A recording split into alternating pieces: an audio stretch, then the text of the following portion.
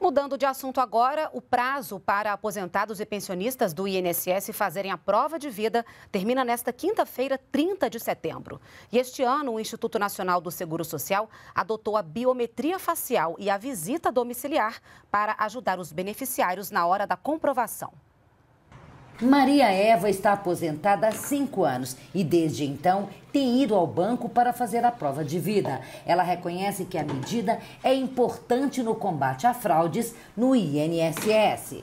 Todos os anos eu vou, faço rapidinho se, se é para fazer, tem que fazer mesmo. Assim como Maria Eva, mais de 31 milhões de aposentados já fizeram recadastramento este ano. O serviço estava suspenso durante a pandemia, mas voltou a ser obrigatório nesse momento em que a maioria da população de risco já recebeu as duas doses da vacina contra a Covid-19. E para facilitar o recadastramento, o governo adotou meios alternativos, como a biometria facial pelo celular. Roberta aderiu à nova tecnologia e fez a prova de vida no conforto de casa. Fiz pelo meu celular mesmo, no aplicativo Meu Gov. O aplicativo é fácil, é simples de operacionalizar.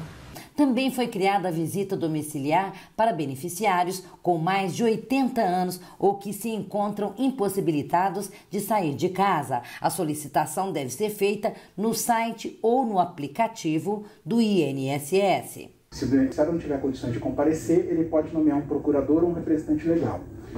É, se ainda assim não for é, possível nomear esse representante legal, ele pode solicitar o comparecimento do servidor do INSS. Quem ainda não fez a prova de vida este ano deve fazer até o dia 30 de setembro para não ter o benefício cancelado.